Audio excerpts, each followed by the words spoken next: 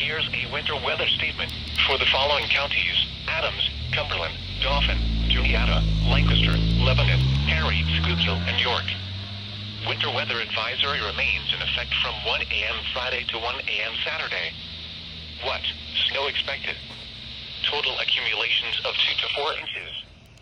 Where? Portions of central Pennsylvania. When? From 1 a.m. Friday to 1 a.m. Saturday. Impacts. Plan on slippery road conditions. The hazardous conditions could impact the morning or evening commute. The Pennsylvania Department of Transportation and Pennsylvania Turnpike Commission remind motorists to adjust speeds based on driving conditions as winter weather impacts will include snow-covered roads and limited visibility.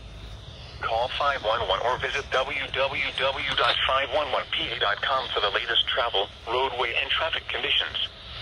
To report snow or ice, post to the National Weather Service State College Facebook page. Use Twitter at NWS State College or visit weather.gov slash CTP.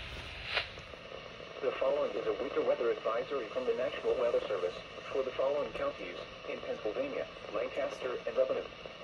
Winter weather advisory now in effect from 1 a.m. to 10 p.m. Friday. What? Snow expected. Total snow accumulations of 3 to 4 inches with locally higher amounts on the hilltops. Where? Portions of central Pennsylvania. When? From 1 a.m. to 10 p.m. Friday. Impacts. Plan on slippery road conditions. The hazardous conditions will the morning commute all over the region, and perhaps the evening commute in the lower Susquehanna Valley. The Pennsylvania Department of Transportation and Pennsylvania Turnpike Commission remind motorists to adjust speeds based on driving conditions as winter weather impacts will include snow-covered roads and limited visibility.